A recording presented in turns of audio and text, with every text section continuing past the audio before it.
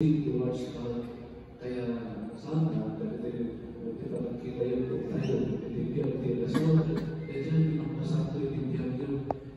so faithful to each other, and then you are truthful to each other, you love each other according to the plan of God, then you do the will of God as husband and wife, and then your status as married couple will make you holy.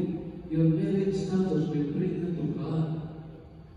You to God. Kaya pangit naman na pakinggan yung sinasabi ng mga artista. Masaya ako. Masaya ako ngayon. Imbis madating sila na wala natin.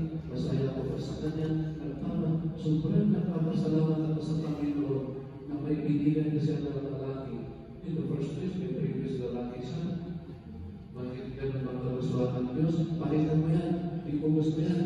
Tulungan na sa But that is the intention that it has to be. Jadi ternyata bina terus asal itu kami tidak boleh berbaik. Eh, gusto ko I think guru tidak guru ini dia mau boleh. Pernah tak bina. It is not the plan God. And that is it is not only about that. It is by by. So the plan of God is that is one. Stick to one, whatever is the plan of God. Kaya na, kasi, our will, yung gusto naman natin ang nasusunod, ito is why, then starts trouble. Then starts problem. And so, if we go back to the original plan of God, according to Jesus Christ, from the first, from the very beginning, according to the book of Genesis, according to